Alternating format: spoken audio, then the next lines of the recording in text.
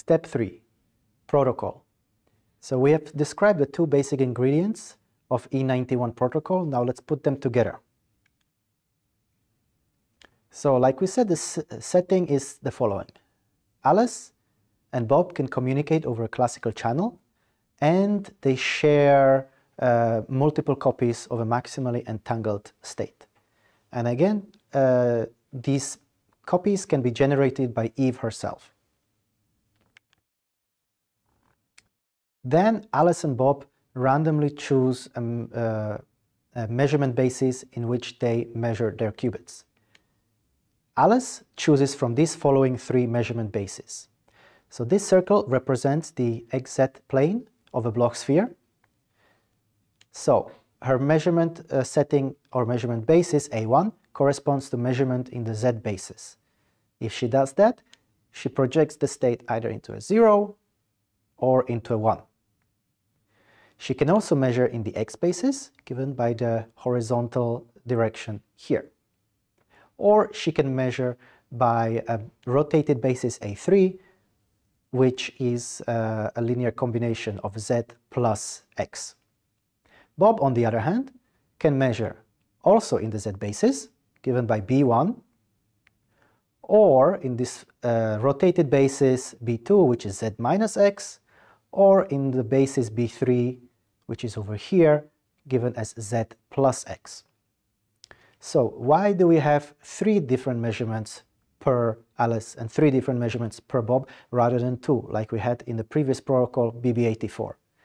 And this is, some of these measurements are overlapping, and when this is needed for generating the secret random key. Remember, we said that if both Alice and Bob measure the entangled state in the same basis, they can use that information, the uh, classical outcomes, to generate uh, and, and establish a classical correlated random key. On the other hand, we need some rotated bases, such as this A3 and B2 and B3, in order to uh, compute the CHSH expression and see if it violates the classical CHSH inequality in order to establish that Alice and Bob are really sharing an entangled state. So, in order to establish the key, Alice measures either in A1 or A3. And Bob measures in B1 or B3. So they randomly measure their multiple copies of uh, entangled states, and then they exchange information about the basis of their measurements. So for example, Alice has uh, the following choices, A1, A3, A1, A2, A3, A3, A1, A3, and so on. And Bob has some other random uh, string of measurement choices, B1, B3, sorry, B2, B3, B1, and so on.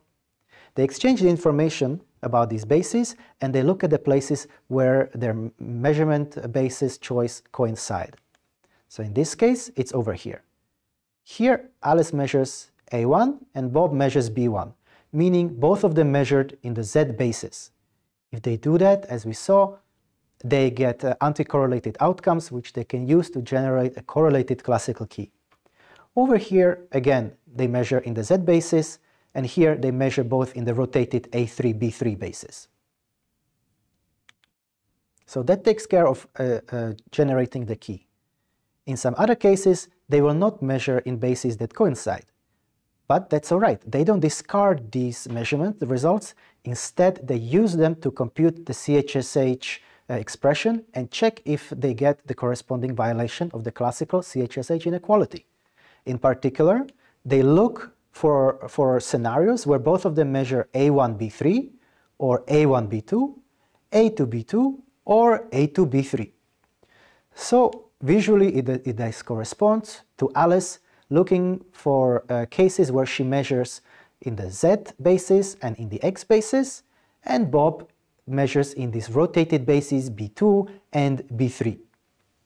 And then they use those uh, measurement results to compute the following uh, expression, which is just the sum of uh, expectation values, where Alice measured B1 and Bob measured B2, Alice measured A1 and Bob measured A3, and so, uh, sorry, B3, and so on. So this way, they don't need to discard any information like in BB84, but they really get to use it to calculate either the secret uh, uh, uh, correlated key or the CHSH violation.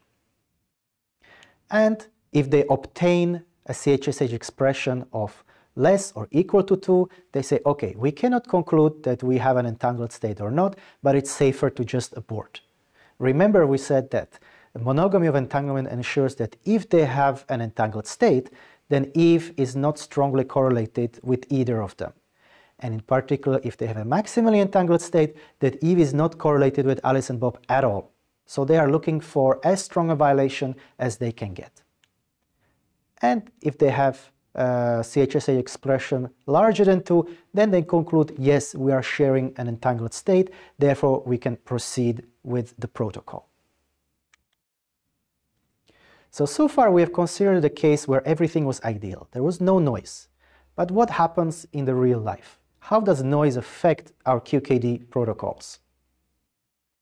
So in real, real life, Alice and Bob will not be able to generate a perfectly correlated key, meaning that either noise or the tinkering of Alice will introduce some inconsistencies into the key, and they will, therefore the key will be nearly identical.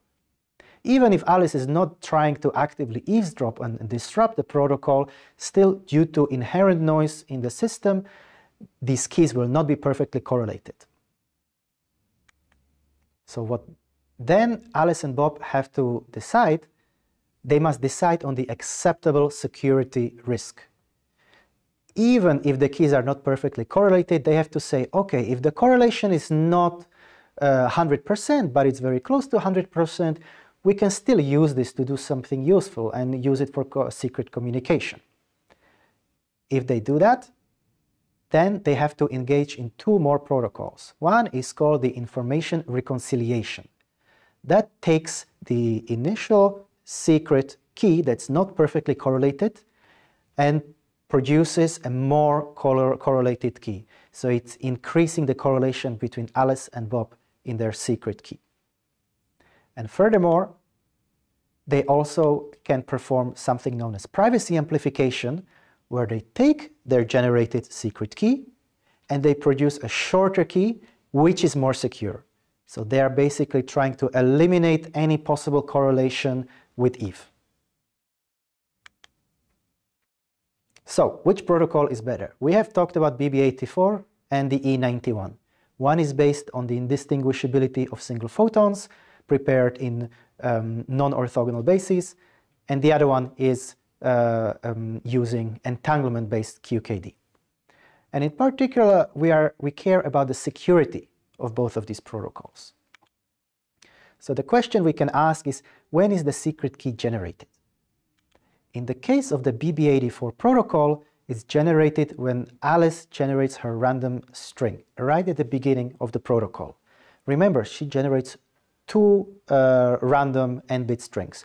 One is uh, to encode the information about the basis of preparation, and the other one about the states in this basis. So if she chooses Z basis, is it a 0 or a 1? If she chooses the X basis, is it a plus or a minus? So the key, the secret key exists right from the beginning, before any communication before Bob and Alice take place. So that means that a clever Eve can actually find a way how to obtain some information about this secret uh, bit string B. In particular, you can consider a very paranoid scenario where the uh, random number generator that uh, Alice is using to generate her random bit string was actually produced by Eve and is in some way correlated with Eve. Therefore, whatever, um, whatever bit, random bit string that the device produces, that information gets passed on to Eve. And we saw at the beginning of this step that of this lesson that that poses a huge security risk for BB84 protocol. Whereas in the E91 protocol, uh, the secret key is really generated after the uh, entangled pairs of qubits are measured. So not when Eve produces those entangled uh, pairs, not when they arrive to Alice and Bob, but only after Alice and Bob measure them in their random bases. So in that sense, we can say that the key is unconditionally secure. And we see that entanglement is essential for security. So now let's conclude this step by talking about some entanglement-based QKD experiments. We saw in BB84 that uh, there were network testbeds um, for single photon QKD uh, uh, networks. However, the entanglement-based QKD is not as far, but it only exists at the level of uh, establishing a secret key over a single link. One such experiment was performed over free space, meaning that the um, entangled photons traveled through, through air. And it was done over a distance of 144 kilometers between two islands in the Canary Islands. One was La Palma and the other one Tenerife. And these uh, photons were produced by spontaneous um, parametric down conversion process, which we saw in previous lessons. So the entangled pair of photons was encoded in the polarization of the photons. And the obtained CHSH violation it was of 2.5008. So quite a substantial amount above the classical value of 2. A different, more recent experiment was done over a distance of uh, hundreds of kilometers, but it was done in a lab and uh, over optical fiber. So the fiber was very long and it was wound in the lab uh, like this. And uh, one distance that was tested was 311 kilometers over a standard fiber and the other distance was 404 kilometers over an ultra low loss fiber. And the obtained bit rate for the secret key was uh, of the order of 10 to the minus 3 or 10 to the minus 4 for the longer distance. Now these bit rates don't actually include uh, the information reconciliation and privacy amplification part. So if we wish to use uh, this uh, scheme in a real life, we would actually have to perform information reconciliation and privacy amplification, which would further drop the bit rate.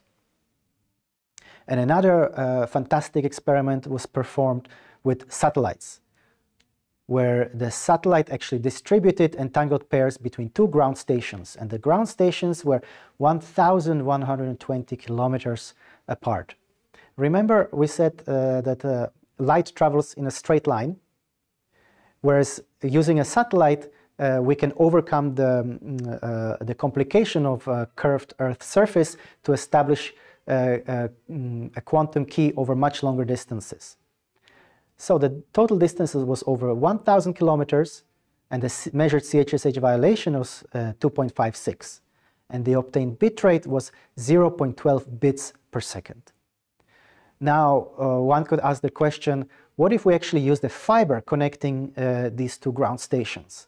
Well, the, the paper that reported these results estimated that that would have been around 11 orders of magnitude less efficient than using the satellites which is very, very quite incredible. So this concludes uh, our, our lessons on um, quantum key distribution protocols.